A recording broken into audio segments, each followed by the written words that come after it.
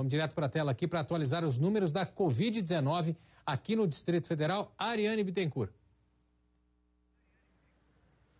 Pois é, Porta Nova acabou de sair o mais recente boletim divulgado pela Secretaria de Saúde daqui do DF. Nas últimas 24 horas, foram registrados 11.508 novos casos confirmados da Covid-19, um número que vinha em queda, né? E agora volta de novo a subir e sobe, inclusive, ultrapassando os 10 mil. A boa notícia é que não houve registro de óbitos, né? Pelo menos não notificados neste último boletim. Enquanto eu vou falando, o Bruno vai mostrando pra gente as imagens justamente desse posto de vacinação onde a gente está agora, que é o da UBS 1 da Asa Sul, que fica aqui na 600 212, né? Eu vou falando, inclusive, da taxa de transmissão, porque tem uma boa notícia, viu? Ela está caindo. Agora ela está em 1,28. No dia anterior estava em 1,58 e há três dias estava em 1,87.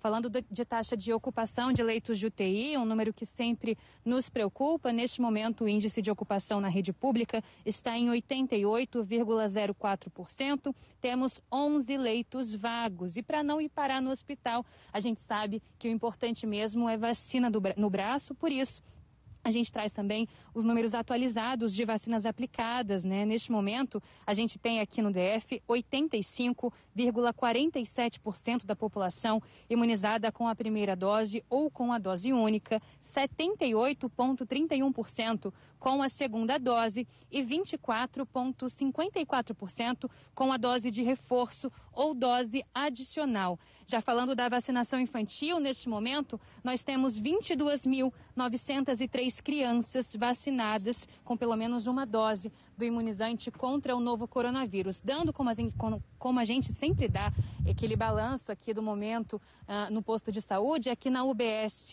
1 da Asa Sul, temos uma fila, uma fila discreta, mas a gente sempre lembra, o movimento acaba se dissipando rapidamente porque a aplicação é muito rápida. Aqui a gente não tem aplicação de vacina infantil, apenas para adultos, mas vale a pena, depois do DF Record, quem puder e já estiver aí no prazo, pode vir se vacinar, que o movimento está tranquilo por aqui.